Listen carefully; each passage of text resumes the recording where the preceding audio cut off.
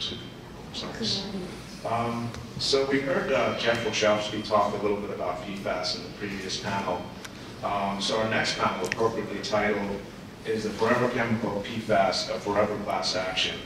And you know, many of you uh, should know that PFAS class actions typically involve claims for personal injury, property damage, or both.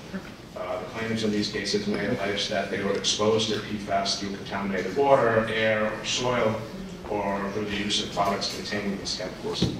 Um, leading this discussion will be uh, Thomas Waskom, uh, co-head of the product liability and mass tort group at Hunton. Uh, he'll be joined by two of his colleagues, uh, Jack Bisceglia and Brian Ledger, and also um, uh, from Gordon Rees. Um, sorry, not, not your name. Paul, Paul, Nif, Paul Nyffeler from Hunton, and then Brian is with Gordon Fix. uh, Brian is with Gordon. Sorry about that. Okay, so take it away, Joe. Thank you. Uh, I'm Tom Waskom, as you heard. First want to thank uh, Bernard and the rest of the Beard group for having us here today. And I think uh, we were lucky to be able to, to present uh, just after the Warriors from Proskauer, because I think it, it, really does segue very well. Um, what we're going to walk through today is, uh, first, I'm just going to kind of level set with a very high level background on PFAS, just so we have some, some baseline of what we're talking about. Uh, Brian is going to discuss uh, some developments in consumer class actions involving PFAS and Prop 65 issues out in California. Uh, you're going to hear from Paul, who will discuss some state and federal regulatory developments uh, that affect the ongoing classification and what's going to happen next. And then Jack will talk about some overall trends in PFAS litigation, including what's going on right now in the PFAS MDL in South Carolina. Um, so just to give you a little bit of background, as you heard, um, I am with Brian is a, uh, not only the co-head of the environmental group at Gordon Rees, but also has a background of master's in epidemiology and toxicology. Uh, Paul also is a scientist, Paul has a PhD in chemistry and, and has researched uh, these chemicals. And Jack Bisceglia, an associate in in Richmond, Virginia with Hunton and, and Jack's been deeply involved in some of the class actions about PFAS pending in uh, Georgia, Alabama, and elsewhere. Um, so PFAS generally, these are family of chemicals um, that have very strong carbon-fluorine bonds. Um, the, the properties that make them most useful in products are also the properties that make them particularly problematic in the environment. They are extremely hydrophilic, lipophilic, um, they are very water soluble, lipid soluble, and they are very uh, resilient. They do not degrade over time and they move quickly through groundwater. Um, the most researched chemicals are PFOA and PFOS. So this is perfluorooctanoic acid and perfluorooctane sulfonic acid. Um, when you hear people talk about PFAS in the environment, PFAS in litigation, these are the two chemicals that you hear about most often because these are the chemicals that were manufactured most widely. But in fact, these two chemicals are, really a, a, very small part of the overall PFAS family. So one of the difficulties that you're going to hear uh, is regulating these chemicals when they're really just the, the truly the tip of the iceberg. Um, where are they? they? They, are literally ubiquitous. Um, PFAS at this point in the country is just about anywhere that you are. Um, certainly including this room, almost certainly including your bloodstream. Um, they have, at this point, made their way throughout the environment through water systems.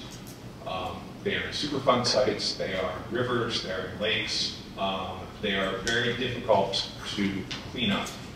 Uh, you'll see in this graphic here, um, once they get into kind of this feedback loop, they tend to stay in. And when they make their way to people, they tend to stay in people as well. Um, going through very quickly, well, why do we care? Um, we care because there appear to be health effects.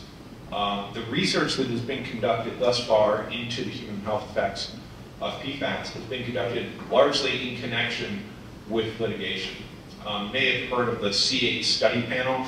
The C8 study panel was the result of litigation involving DuPont and a facility in West Virginia. Uh, there have been a, a number of uh, illnesses or health conditions that have been connected to PFAS exposure.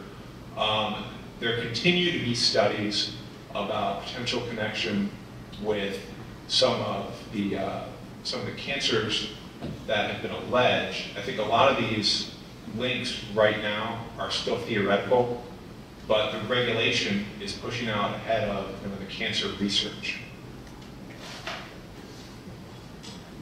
When you're talking about how to regulate these, products, how to regulate the chemicals, you have to look at the specific products that are issued, uh, issue. The products are really too numerous to, to talk about here. They are products that have been across all industries, across all types of uh, consumer products.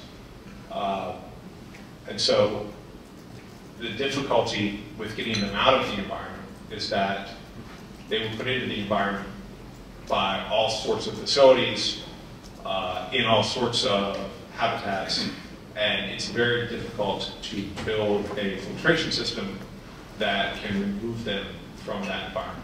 So with all that in mind, I want to turn it over to our panelists to talk about some of the specific class action issues that are arising. Thank you, Tom. I'm just going to stand up here, I think, uh, a little more clearly on the feet.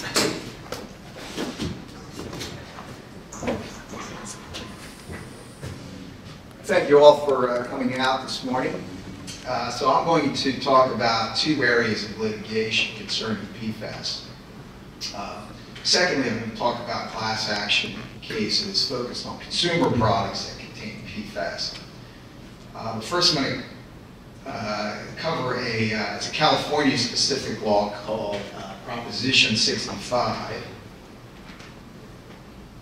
And uh, it's it's very, I think it's appropriate for discussion today. It's very akin to a class action. Any person in the state of California can sue on behalf of all of the people of the state of California. And uh, litigation is incredibly robust under this statute. Uh, there's literally over 3,000 uh, Proposition 65 notices go out to businesses uh, uh, each year. So it's a really uh, intense area of litigation. So this was a, a law that was a voter initiative. It was approved by voters back in 1986, and it's gained uh, more and more steam since then. It was uh, drafted originally by uh, an attorney from the Environmental Defense Fund, and it uh, has two primary objectives. Uh, one is, and, and really the, the, the, largest one, uh, is to inform people before the public, before they're exposed to uh, carcinogens or reproductive toxins. And, uh, and then secondly, to prohibit discharges of these chemicals to uh, sources of drinking water. Um, now, not all chemicals fall under Prop 65. A chemical has to be listed by the state of California that either cause cancer or be a reproductive toxin. There's a lot of dispute in the state of California as to the burden or the burden of proof that's needed to, for the state to identify uh, a chemical uh, on the list. And there's about 900 chemicals on the list, so it's a pretty broad uh, spectrum, but it's not all chemicals. And, and the point of it really is that the general public should receive reasonable and clear warnings before they're exposed to uh, listed chemicals. So who does it apply to? Well, any business uh, doing business in the state of California or selling products, it's got more than 10 employees, uh, is subject to it. And uh, I've often seen companies that have no employees in California. That doesn't matter. If the company's located in another state, sells products in California, it's going to be uh, fall within the scope of this law. And uh, now the exposures under Prop 65 that activate liability they uh, they're not alleged to have caused, or do, nor do they have to cause for liability, any harm to anybody. It's just the fact that an exposure occurred, no matter how small the exposure is, and there was no warning beforehand. None of these cases is anybody alleging that they've actually suffered personal injuries. The types of exposures are uh, consumer product exposures, occupational exposures, environmental exposures, but really the focus is the consumer products. Uh, There's no question over 99% of these cases involve the, the consumer products. So who enforces Proposition 65? Well, both the public prosecutors and the private prosecutors. And how the case starts out is a 60-day notice goes out, and the public prosecutors have that, that amount of time to file suit. If they do, then the private prosecutors can't uh, do anything with it. But uh, virtually, the public prosecutors hardly ever uh, actually pursue these, so it's, uh, here it's over 99% of these are filed by private prosecutors. And again, this can be anybody, uh, any member of the public. And the law has what's called a bounty hunter provision, which provides uh, uh, an incentive for private prosecutors. And it unfortunately has spawned a whole cottage industry of plaintiff attorneys uh, in California that focus just on these Prop 65 cases. Uh, Most of them lead to settlements. Uh, Virtually every settlement, over 95% of that is going to the attorneys for attorney's fees and the investigation fees. So what are the potential penalties uh, if liability is found? Well, the statute is pretty vague, and it basically says up to $2,500 per exposure per day. And to give you an idea how the plaintiff's bar works this, is they will say if a company sells a particular product that's in violation, let's say it's 10,000 units in a year, the plaintiff's bar would say, well, that's 10,000 violations right there. Also, every time somebody would use this product in the course of a year, that's another exposure and another violation. So if your average consumer would use the product, say 10 times a year, you add another zero to this list. But for just 10,000 violations, you know, that's up to $25 million. Now, this, if, when these cases go to trial, it's bench trials, and the judge decides these cases, thank God, jurors. The judiciary out in California is well aware of this whole bounty hunter provision and the plaintiffs, uh, enterprising plaintiffs attorneys. So they generally, they, they don't go crazy in awarding penalties, but the uh, prospect of enormous penalties uh, is always used by the plaintiffs to drive settlements uh, as high as uh, they can get them. So what's significant for PFAS in Prop 65 is the chemicals are being added to the uh, listed chemicals uh, in California. It started in 2017. The PFOA, which my colleague Tom, you heard discuss PFOA and PFOS, they were added as reproductive toxins in 2017. 2021, uh, PFOS was was expanded to be a carcinogen, and, uh, and then a new one uh, was added, P- PFNA, and uh, its salts, it was added as a reproductive toxin, and it's continued in 2022 and 2021, I'm sorry, 2023, um, where they're considering even more of the PFAS chemicals to be added to the list. And you know, the way things are going, as more and more scientific data comes out, it may be that many more of these will be added uh, going forward. The types of products, um, you know, as Tom had indicated that, you know, this, this quality of being uh, moisture resistant, that's common in a lot of these products. You see, you know, outerwear is target, uh, the baby beds and crib mattresses, you know, because they're water resistant. And then there's a whole, a whole bunch of, uh, you know, uh, very uh, common consumer products. Shower liners, you know, for the same purpose, and it, and it goes on and on. There's uh, a whole world of products that have not yet been tagged by the plaintiff's bar, but I expect probably will. So how does a company avoid this Proposition 65 liability, whether it's for PFAS or, you know, any other listed chemical? Well, first, uh, I think having a compliance policy. I, uh, it happens all the time that I get clients who uh, And it tends to be smaller companies from out of state who are either not aware of Prop 65 or you just don't have a compliance policy. For litigation, that is terrible if the plaintiff finds out that they don't even have a policy, uh, which means they didn't, obviously didn't make an effort to comply with the law. Um, It's important for a company to try to determine, do they have chemicals that, or products that may have these chemicals that are suspect? You know, if you're selling products you know, with this moisture-resistant quality, uh, that's, that's certainly a red flag. Communication with supply chain partners. For manufacturers, it's very important to determine, you know, does your the products that you're manufacturing that get distributed to other countries contain these chemicals or any of the Prop 65 chemicals? Because uh, you know, the liability is highest at the top of the chain and responsibility is highest at the top of the chain to inform the uh, companies downstream. And when manufacturers do inform their distributors, um, there's a, a large degree of protection from liability if they properly inform them and give them warning information, but the distributor doesn't actually provide warnings. Conversely, for the uh, downstream companies, they should request that the manufacturers provide this information, let them know if there's any compliance issues. And, uh, and in that regard, some of them, uh, it's I think a very good practice, uh, request uh, an agreement that if the product's not found to be in compliance with the law, that the manufacturer will agree to indemnify or hold harmless uh, the company from any liability if an action is filed. Um, and then product testing, you know, if there is suspicion that the product may contain you know, whether it's PFAS or other chemicals, to have products tested and find out. And then lastly, simply providing warnings. When you provide a warning, that's it. It's, it puts you in the safe harbor as long as you use the proper warning.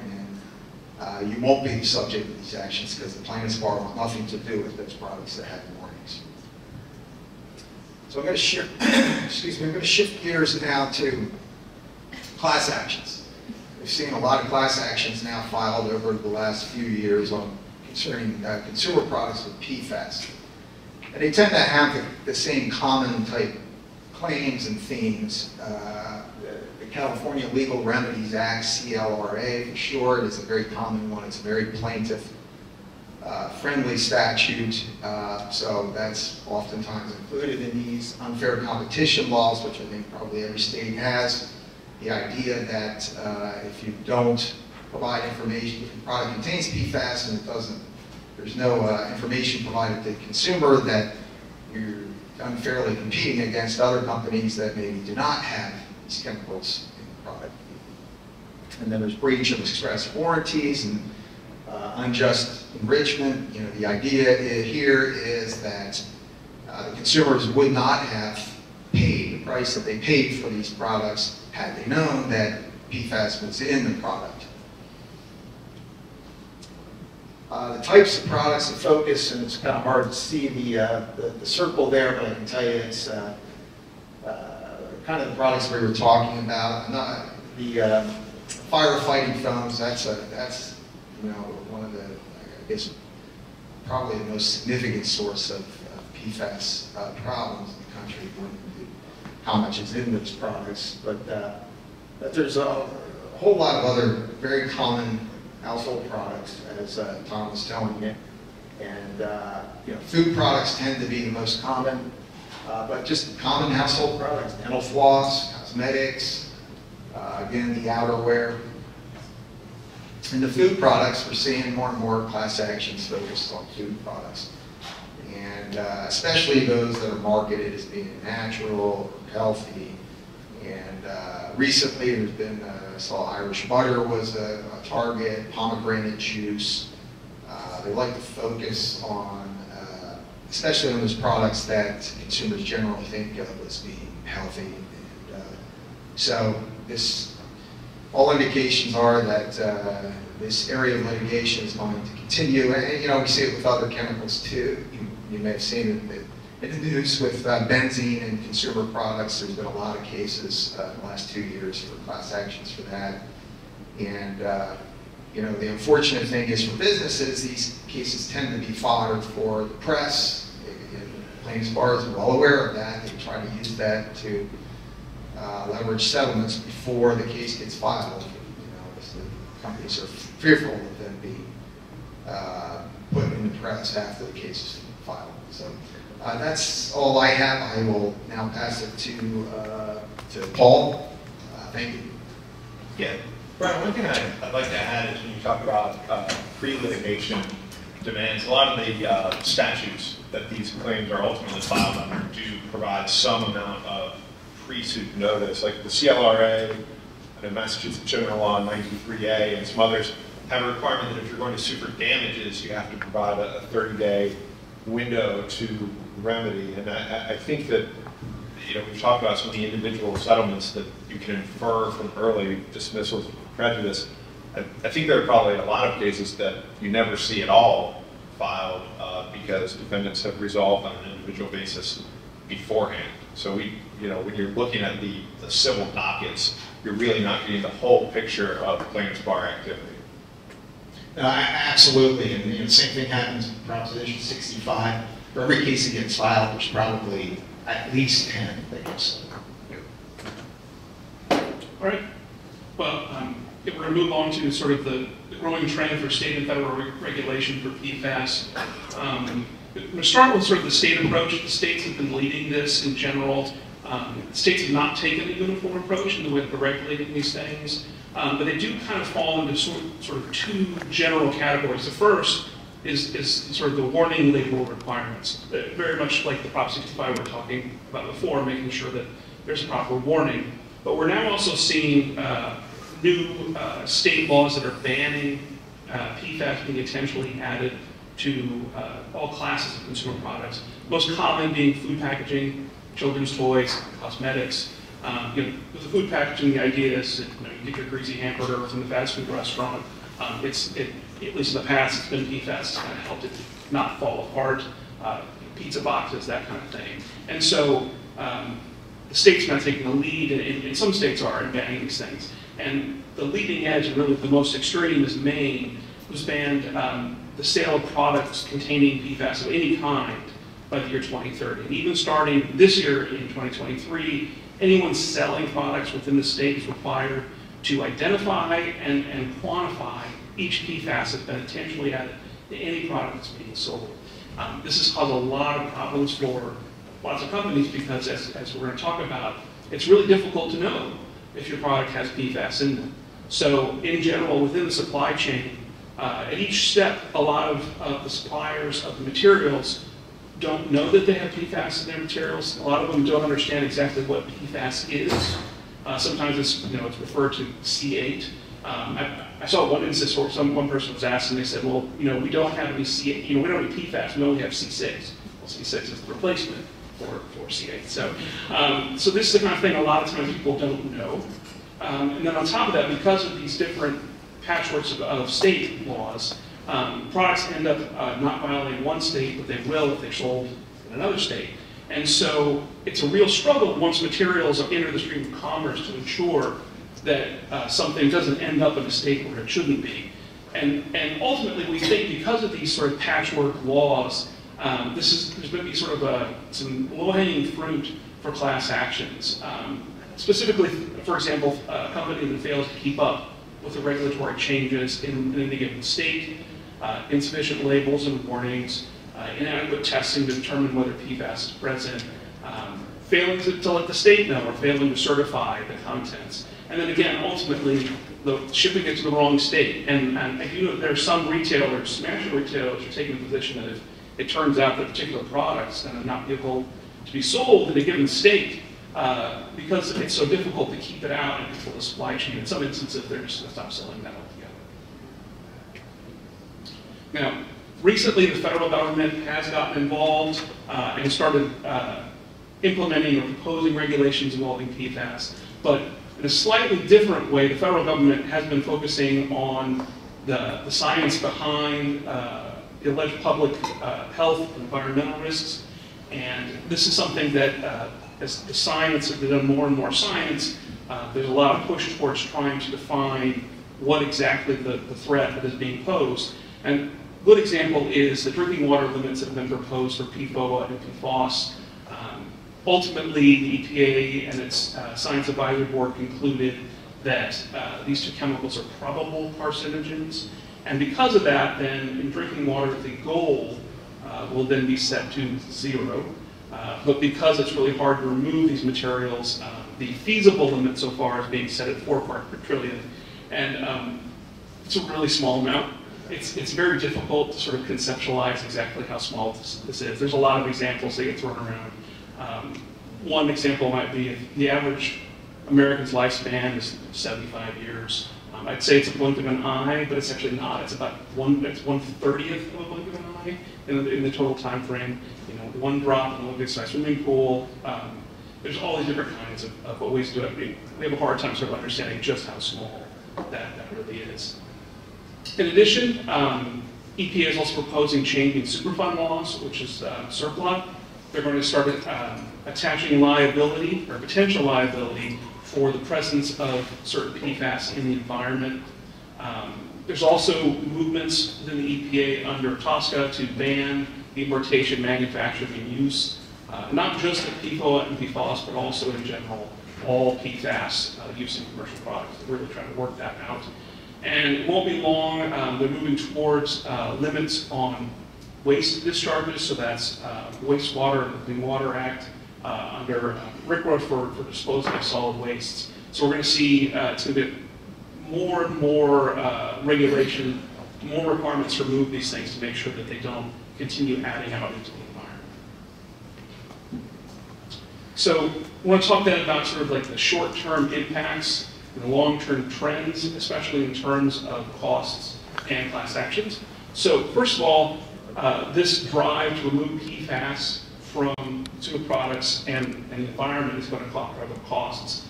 Right now, there are not a lot of acceptable uh, replacement options for PFAS. So there's going to require expenditures to research new materials to replace them. That's going to drive up the costs. Um, also, just removing PFAS in general is going to be more costly. That's in part disposing of, of products that you can't sell because they contain PFAS. And also, there's the filtration and removal of PFAS from you know, water and, and, and waste and everything else we talked about in terms of the environment that's already there. Um, and because of this, we think that we're going to start, at least initially, uh, there's a chance we're going to see some scarcity in some consumer goods. Like I said, some, some, some products will not be sold in certain states and then retailers won't sell them. Or, or in Maine, for example, you might find a situation where there's just not a lot of stuff being sold because people can't certify that they actually meet the requirements for, for PFAS. We also think, though, that over time, uh, people are, I mean, it's already happening that people are becoming more and more savvy about the presence of PFAS in, in products. And because of these regulatory changes, uh, we expect that, that although there will be an uptick in, in lawsuits because of the presence of PFAS, on the other hand, there will be a, a slow march of PFAS out of the, out of the supply chain, which will make it uh, harder and harder, and fewer and fewer lawsuits about uh, PFAS content, PFAS violation laws discussed. That's a pretty long tail, though, I assume. Oh, yeah, it, it will be. Um, it- part of the problem right now is we've talked about PFOA and PFOS. These are sort of like the, the big ticket things that they've been around for decades and decades. But, you know, we have replacements like Gen X, um, and now we have replacements for replacements. And um, because there's just like thousands and thousands of these compounds, um, when, when one thing gets regulated something replaces it, and it, it's very difficult to figure out where all these things are and know exactly what you have, especially in the low quantities we're talking about. So uh, in addition to the long-term tail of the lawsuits, uh, an even longer challenge is going to be simply removing the PFAS that's already out there.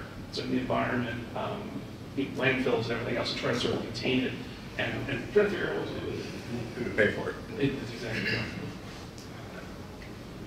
Um, uh, just up here, just, I'm not, I'm not going through all this, just to give you a flavor, these are some of the state bans that have been proposed. Um, like I said, food packaging happens a lot, um, but different states are taking different approaches. You see timeframes, you know, 2023, 2024, we have Maine 2030, all products. Uh, the different states, sort of a marching uh, set of deadlines for removing PFAS products. It's not every state, obviously, um, but you are seeing a, a general trend that's moving forward. There's also push on the federal level for, um, you know, in, in, Congress to establish sort of limits as well, limits on Department of Defense purchases, um, you know, lots of different things moving forward there. Right, with that, that's the agenda. I'd like to talk about a few trends in PFAS litigation, um, rather than talk about the uh, large swath of cases across the country. I want to focus on, on two particular cases, but before we get to that, um, kind of general categories of litigation. Um, Brian and Paul touched on uh, the consumer products litigation. Um, we're also seeing med medical monitoring class actions. So these are uh, actions where plaintiffs are either alleging personal injury or um, alleging simply exposure or the presence of um, the presence of, of PFAS in, in, their body or in their bloodstream um, that leads to an increased risk of, of disease or illness. Um, so again, the, the, specific injury need not be alleged for these types of claims. Um, and then broadly speaking, we're seeing environmental litigation. So these are um, claims that are generally revolve around the contamination of uh, drinking water, either private or public drinking water sources, uh, typically from um, industrial uh, contamination or uh, from contamination from other sources um, like firefighting foam. Um, so those claims have been brought by individual residents of communities from private and public water utilities um, and also by state, uh, states and municipalities. Um, against PFAS manufacturers, there have been brought against uh, manufacturers of products that incorporate PFAS, um, intermediate products, and, and, and, different locations of uh, property owners where, where there has been contamination. Um, so the, the claims are alleging personal injury, medical monitoring, uh, property damage, environmental remediation, and cleanup on common law theories of negligence, uh, public nuisance, product defect, uh, but also um, in the case of, of government entities, uh, natural resources statutes. Um, so between you know, medical monitoring and environmental litigation, the, the most notable um, early case of this was the C8 litigation that, that Tom mentioned. That established a, a science panel that uh, concluded that there was a probable link between uh, PFAS exposure and uh, six different different health conditions. Um, so the the health condition that, that that panel established have have shaped uh, class action litigation moving, moving beyond that 2005 uh, settlement.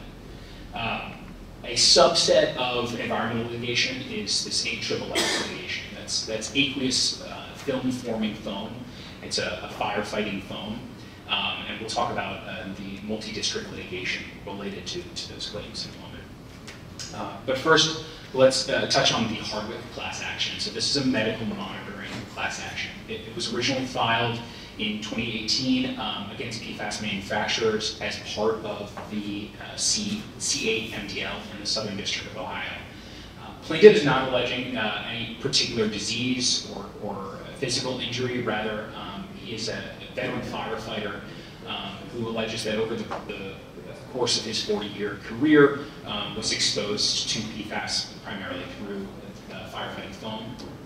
Um, he's seeking to represent a nationwide class of individuals with um, detectable levels of PFAS in their bodies. Um, and now, given that um, some experts estimate that 95% of the United States pop population has detectable levels of PFAS in, in their bloodstream, um, he's not only seeking to represent a nationwide class, but he's essentially, uh, it's a nationwide class in the most literal sense of the term. So almost everyone in the United States. Um, so a very, a very broad-ranging uh, class action. Uh, he is not seeking uh, specific monetary damages, rather he's seeking medical monitoring and the establishment of a, of a science panel. Um, and uh, so just, just seeking equitable relief here. Um, in March of last year, the Southern District of, of Ohio uh, actually certified a class uh, on a more limited basis than plaintiff was seeking. Um, it was individuals subject to the laws of Ohio, that's the, the language that was used, um, and uh, that have uh, 0.05 uh, parts per trillion um, of PFOA um, and uh, 0.05 parts per trillion of any other PFAS in, in, their, in their bloodstream.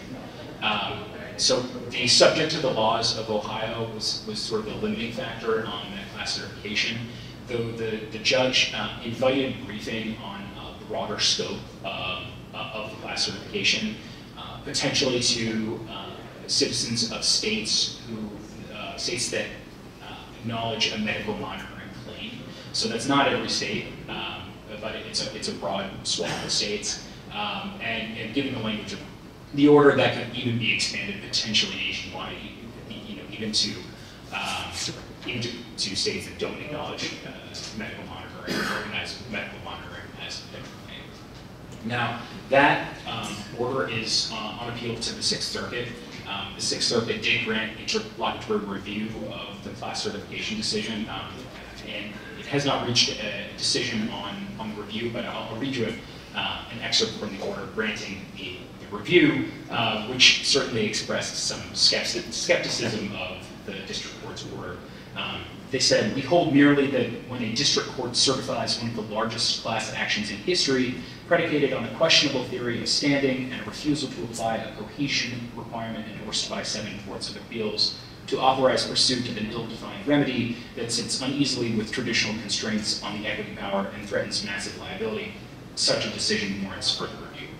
Um, So uh, skepticism, to say the least, uh, we expect to see at least some limitation on um, the class certification that arose out of Hardwick. Um, uh, But again, this is uh, such a a- a broad uh, sweeping class action, and again, one that does not allege actually any particular, particular uh, injury, but rather merely exposure. um, It it will certainly be one to watch. Uh, Next, I want to talk about uh. So uh, this is aqueous film forming foam.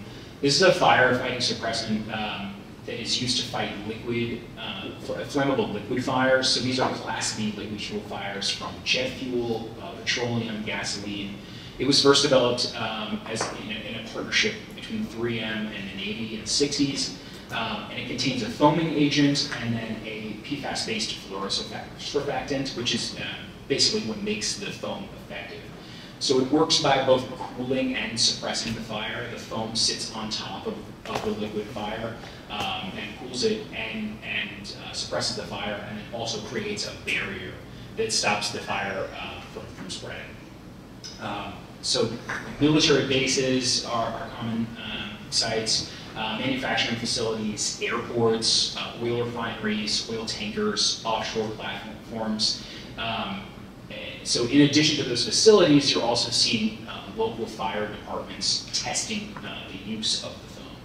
Um, so public and private water supplies near uh, these various facilities um, have seen PFAS contamination of their water that they attribute to uh, the foam leaching into the, the nearby soil. Experts have, have suggested that AFFF is the, the single largest contributor to PFAS water contamination in the country. So um, this has given rise to uh, numerous lawsuits um, in jurisdictions across the United States. Um, both the Department of Defense and manufacturers of these products, so we're seeing both manufacturers of the, the PFAS core product and then uh, manufacturers of the foam that incorporates PFAS, um, are looking for alternatives, uh, PFAS-free or fluorine-free foams. You might, you might see that sort of language. Um, they're uh, looking into research and development of these products. As of yet, they have yet to find something that is um, as effective as AFFF in fighting these potentially catastrophic fires, or that meet some of the requirements. Um, for instance, uh, the FAA has specific rules related to airports for, for suppressing these sorts of fires, um, and we have not seen a product yet that complies with, with those regulations. Um, so as I mentioned, there are, are many cases across the country that uh, allege uh, contamination as a result of, of uh, leaching into the soil.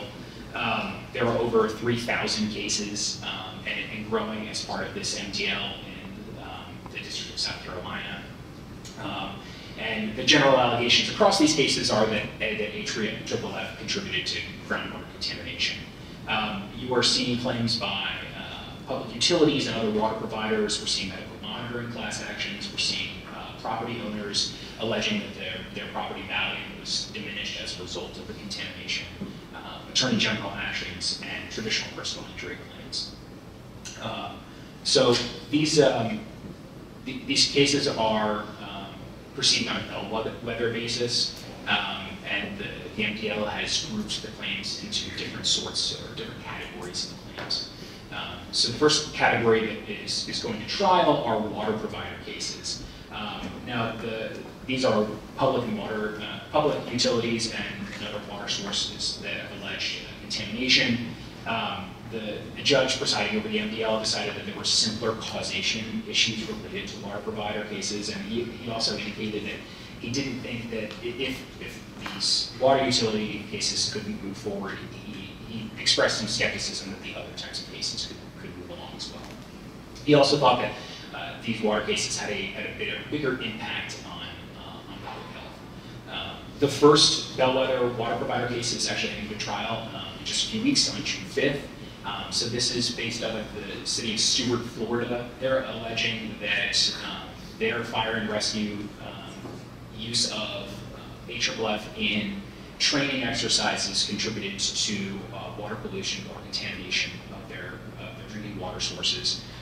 They're alleging that they had to switch to a, a different source of water, and that they also will need to uh, create a uh, water filtration system that is capable of filtering out PFAS. There are three different types of water filtration systems that um, have been shown to be effective in filtering PFAS. Um, so it's reverse osmosis, granular uh, activated carbon, and anion, exchange. Um, these are all expensive um, facilities, um, so municipalities are, are looking to recover the costs of creating these uh, these new filtration systems from uh, manufacturers of PFAS and manufacturers in this situation of, of uh, the phones themselves.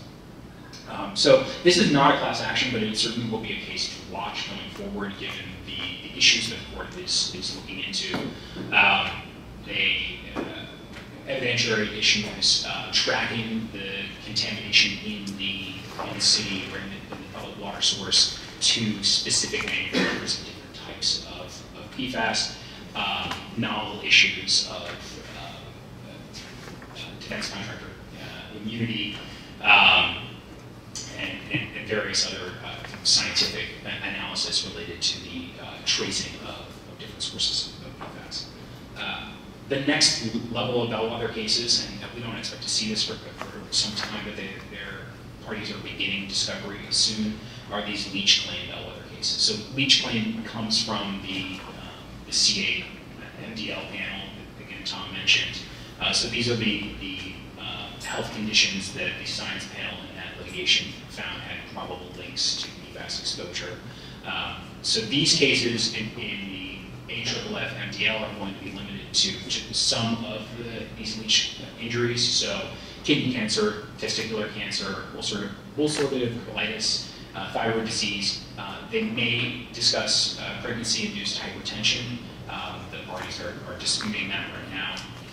Um, the, the court has excluded high cholesterol as the other uh, given its general prevalence in the population. Uh, The parties are also discussing which sites should should be the focus of discovery related to these personal injury claims. Um, So Willow Grove, uh, Pennsylvania will certainly be one of the uh, locations. Um, The parties are debating whether Peterson Air Force Base in Colorado will also be one of the locations of of potential injuries. Um, So again, as the discovery process uh, unfolds and um, the court continues to narrow the, the cases that will proceed to trial, um, this is going to be another set of cases uh, to watch that will have uh, im- impactful rulings for uh, the remainder of PFAS cases across the country.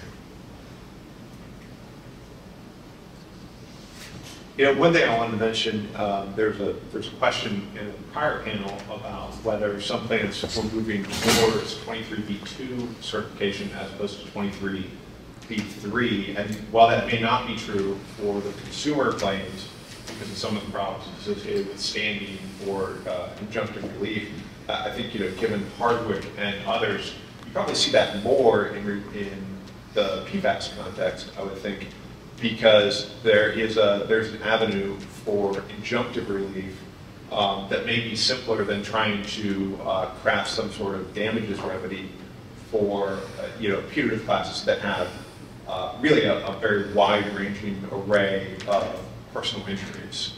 Um, You know, I don't know if, uh, if Paul, you have some thoughts on what uh, a remediation strategy would look like um, that could be characterized as injunctive relief in, in some of these cases. Yeah, so the challenge basically is that in most instances, it's a filtration system. Um, and so there's uh, a long-term cost associated not just the installation, but also the replacement of the, the media once it's once it's reaches capacity. Um, so there is there's sort of an ongoing sort of uh, requirement for for that. Um, it's uh, it has been it's been um, in some states uh, manufacturers are required to provide uh, alternative water supplies, you know, piping in water to people living in the country from municipal sources as well. So those are the, the kinds of, of, of uh, solutions that are being proposed. I mean, one, one interesting thing about this litigation is that you have a lot of, of very viable defendants for the time being. You know, the, the defendants who you see most often in, these cases are 3M, DuPont, and, and some similar companies. And so where in some environmental litigation, you may have some, some very uh, some very old claims of contamination, and, and, there may be any number of entities that aren't around anymore. Here, um, you're seeing a, a, lot of defendants in some of these cases. And I would just add, Tom, that uh, if it becomes the final EPA rule that uh, PFAS is added as a hazardous substance to the CERCLA uh, uh, litigation, you know, that door is going to be really busted open even larger. But, uh, I'm sure you guys know, it's, uh, you know, we sometimes get hundreds of defendants in a certain case. Each company that contributed a little bit is potentially liable. Can we answer any, any questions that anyone has?